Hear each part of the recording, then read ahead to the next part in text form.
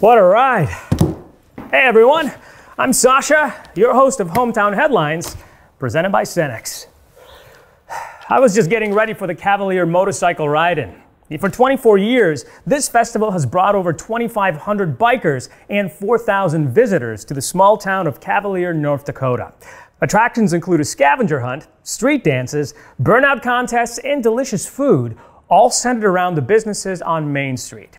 But it's not just about the bikes. The community always finds a way to give back by donating all raffle proceeds to local North Dakota charities. They received a Hometown Pride grant from Cenex that was used to replace speakers on Main Street and repair buildings downtown.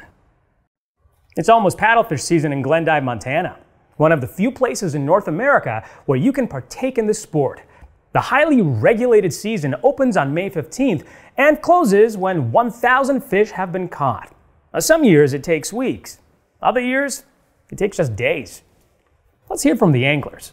Just a fascinating story about a fascinating fish. You know, this is hard, muddy work. It's not for the faint of heart in the sense you're lobbing out big, heavy weights and you're ripping these rods all day. It's just a really cool and somewhat exotic fishing experience for a lot of people.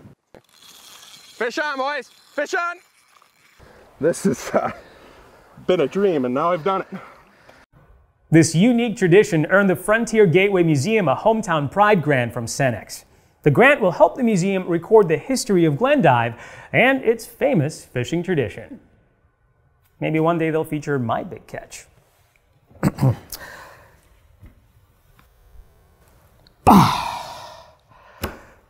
yeah.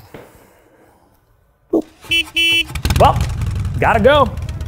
Don't forget to follow Cenex on Facebook and subscribe to our YouTube channel to watch more videos and learn how we give back to Cenex communities just like yours. Till next time,